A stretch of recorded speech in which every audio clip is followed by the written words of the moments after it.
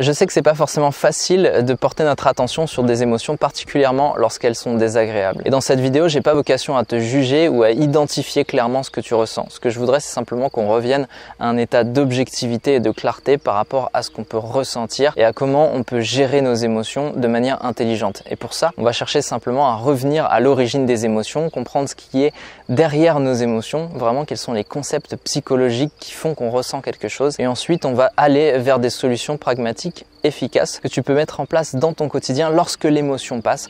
Parce que l'idée, tu vas vite le comprendre, c'est surtout de ne pas retenir l'émotion et de faire en sorte qu'elle passe le plus vite possible, particulièrement lorsqu'elle est désagréable qu'on soit bien d'accord. Et enfin, je te donnerai quelques clés pour vraiment continuer ton processus parce que la gestion émotionnelle ne s'arrête pas à une seule vidéo. Il y a vraiment beaucoup de subtilités et de nuances à mettre en place. Reste pas dans l'idée d'avoir tout compris juste après le visionnage de cette vidéo. Bonjour à tous, bienvenue dans cette vidéo. Salut les masters, merci de me suivre. On vit une période de crise qui est particulièrement euh, difficile. Il est facile de se faire une idée plutôt négative de la situation et de ressasser malheureusement des émotions qui ne nous aident pas à prendre de bonnes décisions. Et c'est la raison pour laquelle j'ai décidé aujourd'hui de faire vraiment un point focus sur les basiques de la gestion émotionnelle. Et normalement cette vidéo elle devrait pouvoir aider n'importe qui et j'espère le faire vraiment du fond du cœur de la manière la plus objective qui soit parce que je ne souhaite pas vous juger. C'est normal d'être traversé par des états émotionnels. la première chose que j'aimerais vous dire, c'est que lorsque vous vivez une émotion, s'il vous plaît, ne vous identifiez pas à ce que vous ressentez. La première erreur qu'on peut faire, c'est vraiment de s'attacher à nos émotions, de croire que si on a été en colère et qu'on n'a pas su gérer notre colère, c'est parce qu'on est une personne colérique, de croire que si on a été angoissé à un certain moment de notre vie, c'est parce qu'on est devenu une personne angoissée qui est sujette au stress, etc. Imaginez que vous êtes un câble et qu'à travers vous passe de l'électricité. Cette électricité, c'est l'émotion. Et ce qu'on a tendance à faire, c'est à contracter le câble. Et plus on contracte le câble, et plus l'émotion a du mal à passer, ce qui fait qu'en général, elle reste longtemps. Et comment on fait pour contracter notre câble concrètement? Eh bien, on va se répéter les mêmes réseaux de pensée. On va avoir tendance à porter notre attention systématiquement sur notre état émotionnel douloureux, sur tout ce qui est lié à cet état émotionnel, et on va ruminer, ruminer, ruminer, et une émotion qui aurait simplement pu passer à travers notre câble, en fait, va rester coincée à l'intérieur. Cette image, c'est pour comprendre que, un, il faut pas vous identifier à ce que vous ressentez, et que l'émotion elle passe à travers vous et que ça n'est pas grave de ressentir une émotion qui est négative, ce n'est pas grave d'être submergé par nos émotions. L'idée c'est simplement de réussir à gérer cet état. S'il vous plaît, ne crachez pas cette émotion sur les gens. Ne lâchez pas les chiens sur les gens qui sont autour de vous. Prenez conscience le plus vite possible dès l'instant où vous ressentez quelque chose qui vous déstabilise, que là vous avez besoin de prendre un sas de décompression. Et c'est là que je vais pouvoir vous donner des clés intéressantes quand on va parler justement de comment se créer un bon sas de décompression dans quelques instants. Mais avant ça, j'aimerais qu'on revienne sur tout ce qui est à l'origine de ce qu'on ressent. Et il y a vraiment un cycle et, presque un principe, un pilier qui est super simple à retenir, qui est à la base de tout ce qu'on ressent. Et ce pilier, c'est vraiment le principe d'attraction-répulsion. Il y a des choses qu'on voudrait voir dans notre vie et il y a des choses qu'on voudrait pas voir dans notre vie.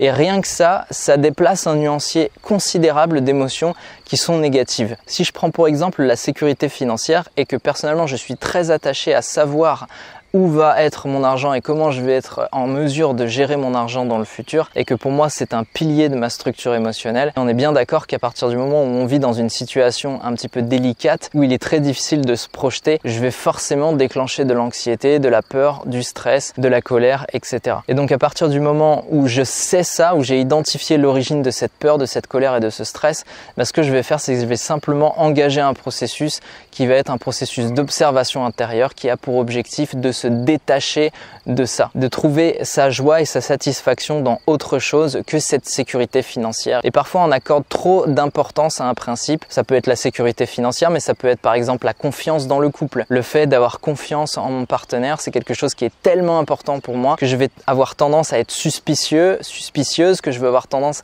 à justement ne pas faire confiance. Et ça peut même créer des problèmes dans le couple. Ça peut déjà me créer des problèmes émotionnels, mais ça peut avoir des répercussions évidemment sur mon entourage. Donc je vais faire un travail sur ça, sur la confiance. Est-ce que ce manque de confiance que j'ai autour de moi n'est pas lié à un manque de confiance en moi? Ensuite, il y a un troisième mécanisme, c'est l'ignorance. Les êtres humains ne supportent pas de ne pas savoir ce qui va arriver dans les jours, dans les heures à venir. C'est vraiment quelque chose qui nous met vraiment dans une situation d'inconfort et qui peut générer énormément euh, d'émotions négatives. Par exemple, là, les histoires de confinement, déconfinement, le fait de ne pas savoir comment va être la crise, on parle de la pire crise qu'on ait jamais connue depuis 1929. Certains disent que c'est même encore pire que 19 1929. Le fait de prendre conscience de ces trois principes, attraction, répulsion et ignorance, le fait de pas savoir ce qui va nous arriver ou alors le fait simplement de ne pas comprendre nos émotions, de ne pas connaître les mécanismes que je viens de vous évoquer, ça, ça peut être à l'origine de beaucoup de choses qui sont très néfastes. Alors concrètement, comment on peut faire? Eh bien, le fait que je commence par parler de ça, c'est parce que sur le long terme, c'est sur ça qu'il va falloir travailler. Sur le long terme, on cherche pas à travailler sur la colère, sur la peur, sur la tristesse. Sur le long terme, ce qu'on cherche à faire, c'est à trouver ce qui est à l'origine de la peur, de la colère et de la tristesse.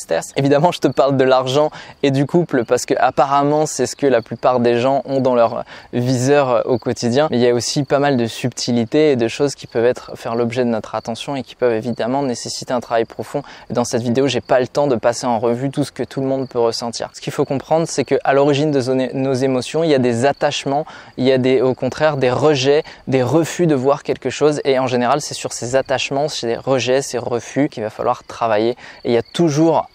à côté de ça quelque chose dont on est responsable et sur lequel on peut réellement agir. L'idée c'est de trouver ce sur quoi je peux agir et souvent bah, c'est sur mes propres biais psychologiques, c'est sur ma propre structure mentale que je vais pouvoir avoir une action concrète sur le long terme. C'est très très important d'avoir conscience que nos émotions ne sont pas bêtement liées aux paramètres extérieurs, que nous sommes effectivement à l'origine de ce que nous ressentons et que ce qui est à l'origine de ce que nous ressentons, bah, ce sont en fait des structures psychologiques sur lesquelles sur le long terme on va pouvoir vraiment travailler intelligemment. Maintenant, j'aimerais qu'on parle de comment gérer une émotion lorsqu'elle arrive, c'est-à-dire lorsque maintenant, ça y est, on est submergé et que l'émotion vient. Et il y a trois facteurs sur lesquels tu peux avoir une influence systématiquement. Le premier facteur, c'est la posture. Et c'est très important d'avoir conscience de notre posture parce que justement, la plupart du temps, quand on vit une émotion, on a tendance à oublier notre corps. Mais dans notre corps, il se passe beaucoup de choses. Et donc, il y a pas mal de paramètres biologiques sur lesquels on peut avoir une influence juste grâce à la posture. Ce que je t'invite à faire, c'est que tu vives une crise d'angoisse, une crise de colère ou qu'une émotion importante passe, c'est simplement à prendre conscience immédiatement de ton ancrage dans le sol. Si tu es vraiment obligé d'être debout au moment où tu vis cette émotion, prends tout de suite conscience de tes pieds et la façon avec laquelle tes pieds sont ancrés dans le sol. Si tu sens que tu perds l'équilibre, essaie de te stabiliser. Imagine que tu es un arbre et que tu tentes à enraciner. Et si tu as la possibilité de le faire, eh bien évidemment, ce que je t'invite à faire, c'est à t'asseoir, voire à t'allonger. Plus l'émotion est désagréable et intense, plus ça va être bénéfique de s'allonger et au contraire de ne pas bouger dans tous les sens. Quand on est en colère, on a tendance à partir dans tous les sens. Au contraire, si on s'assoit, qu'on se pose, eh bien on va avoir un effet tout simplement sur la biologie du corps qui lui va être positif. La deuxième chose que je te recommande, c'est de porter ton attention sur ton souffle et d'essayer d'allonger ton expiration. Alors le souffle c'est très intéressant parce que le souffle permet de ralentir le système nerveux. En général quand on a une émotion douloureuse qui est très forte, on est dans le système nerveux autonome qu'on appelle sympathique. Le truc c'est que c'est la pédale d'accélérateur de l'organisme. C'est ce qu'on appelle le système combat-fuite. Et si on maintient cet état émotionnel, on va maintenir notre système nerveux dans, ce mode, dans cette fonction combat-fuite. Et l'idée c'est au contraire de ralentir ça et on peut avoir une influence extrêmement efficace juste avec le souffle. Et donc ce que je t'invite à faire, c'est à allonger ton expiration. Pour comprendre simplement, je vais m'exciter en faisant des expirations courtes. Donc je vais au contraire me calmer en faisant des expirations longues. Donc c'est j'inspire et j'expire. Et en même temps, quand tu vas expirer, tu vas allonger ton expiration et tu vas souffler, tu vas visualiser que tu souffles quelque chose de désagréable et d'insupportable. Si tu es en colère, tu souffles ta colère, tu la fais partir par le souffle. Le fait de visualiser augmente l'efficacité de l'exercice. C'est quelque chose qui a été aujourd'hui démontré et très bien observé par différentes études scientifiques. Mais en gros, le simple fait de visualiser que ton état émotionnel part lorsque tu expires, eh bien, a tendance à améliorer le retour au calme et à faire simplement en sorte que ben, on arrive tout simplement à laisser passer l'émotion plus facilement. Donc, si tu es très angoissé, ben, visualise que l'angoisse part etc. Ok? Troisième chose que je peux te dire, qui est encore un troisième outil qui est très intéressant, c'est cette fois-ci c'est une idée, c'est quelque chose que tu dois avoir en tête lorsque tu vis une émotion qui est désagréable. Cette idée, c'est que à partir du moment où on a atteint le pic émotionnel, ça peut pas être pire. Ce qu'il faut comprendre, c'est que si je suis extrêmement si je suis euh, dans une tristesse profonde, à un moment donné de l'expérience tristesse, colère, il y aura forcément un maximum. Souvent, lorsqu'on est dans ce maximum, on a tendance à générer en nous l'idée bête que ça va durer éternellement. Et en fait, quand on vit le maximum émotionnel, c'est comme s'il y avait tous les concepts psychologiques dont on a parlé avant, toutes les choses qui sont à l'origine de notre émotion qui vont venir et qui vont se répéter en boucle. Et donc, on va se retrouver dans un état psychologique qui va nous maintenir l'émotion. Et en fait, plutôt que de laisser passer le pic émotionnel, eh on va avoir tendance à le maintenir ce que j'aimerais que tu saches, c'est qu'en fait, ce pic, il peut passer beaucoup plus vite qu'on le croit. Et que parfois, très rapidement, on peut se retrouver dans une zone d'accalmie.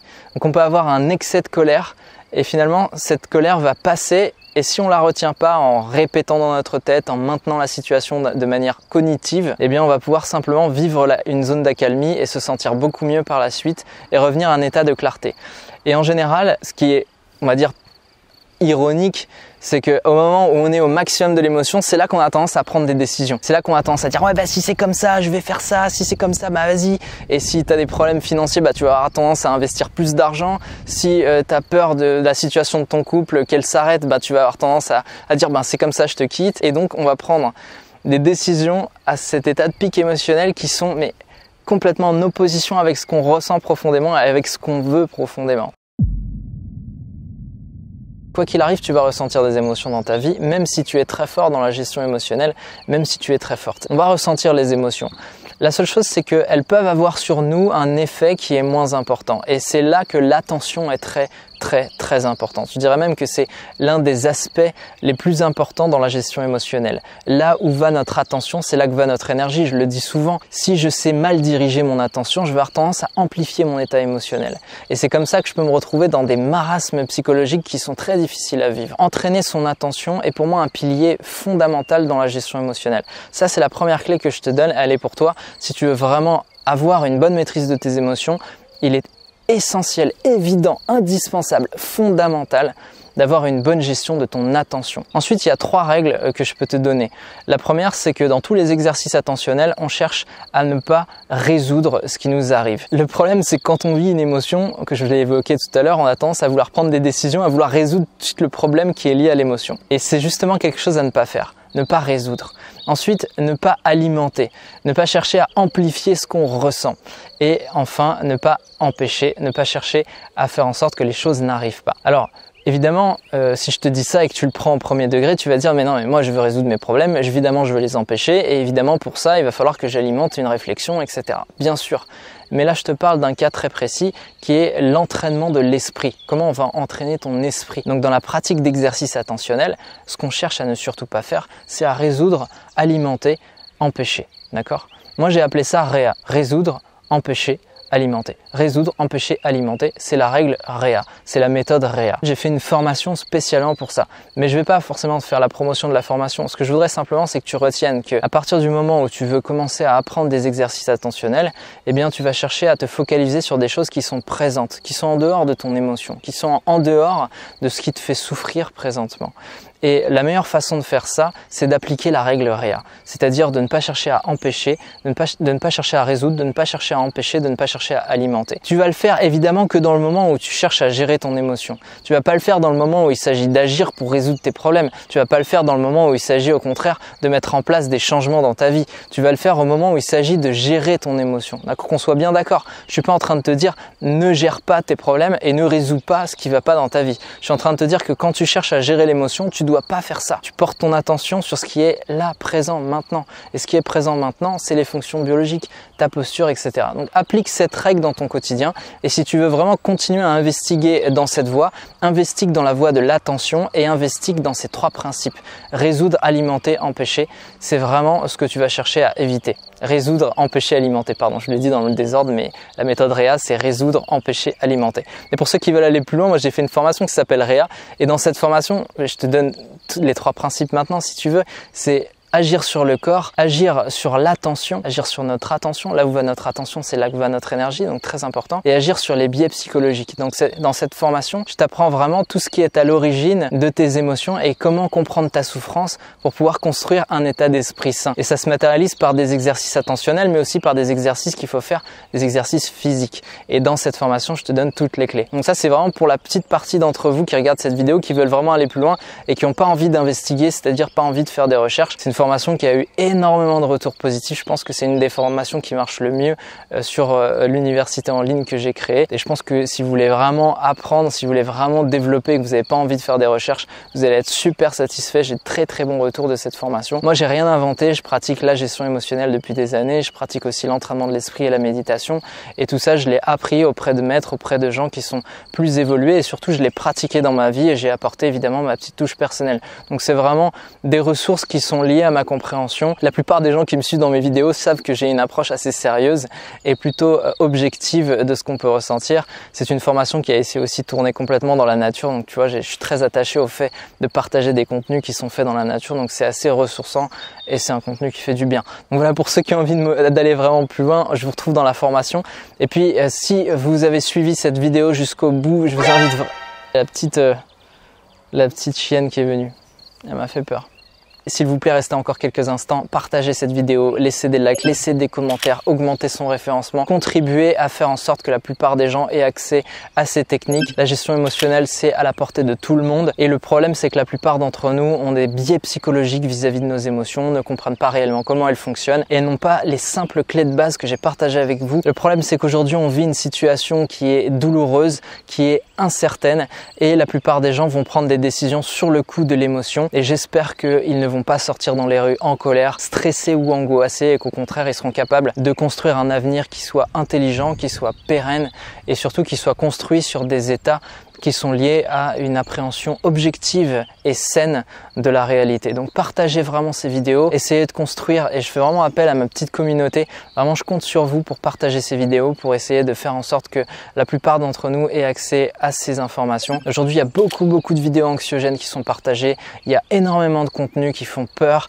il y a énormément d'informations qui sont parfois fausses ou exagérées. J'ai fait de mon mieux pour que cette vidéo soit vraiment un contenu pertinent en rapport avec ce qu'on vit tous et qui donne surtout des clés pertinentes et efficaces. Donc faites partie un petit peu de l'expérience, n'hésitez pas à me soutenir, à soutenir aussi la communauté et la chaîne. Merci pour votre soutien, c'est toujours un plaisir de lire vos messages, c'est toujours aussi un plaisir de vous répondre. Je suis désolé, j'ai parlé un petit peu vite dans cette vidéo, mais j'ai essayé de faire une vidéo qui touche le maximum de monde et je sais que ben voilà sur YouTube, euh, c'est bien d'activer certains leviers et de parler avec une certaine cadence. D'habitude, mes vidéos sont plutôt calmes et j'ai tendance à m'exprimer euh, de manière assez euh, détendu. Donc le vrai Damien n'a pas euh, disparu, vous inquiétez pas. On se retrouve dans les prochaines vidéos avec ce calme habituel. Merci de m'avoir suivi jusqu'à la fin de cette vidéo. Merci de partager. Je vous souhaite à tous une excellente journée. Évidemment, quand la vidéo est terminée, comme d'habitude, on dit allez, on dit couper.